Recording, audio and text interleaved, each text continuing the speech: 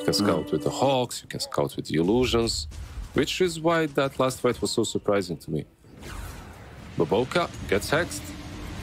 Charged Okay, in. but Boca, there will be a big jump in from Lou as he's activating his Blink Dagger. Goes in, huge blue hole from Sumail. The follow up with this. Medusa Oh, damage. oh, Oh, oh, my god, that was beautiful. Oh, The, that's... oh, Oh. poetry in motion, Lizard.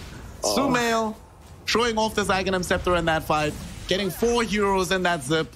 That, that that's a game-winning moment, honestly. Bring that back. We need to see that again. That's, yeah. Makes, yeah, you can try and do, yeah, this is uh,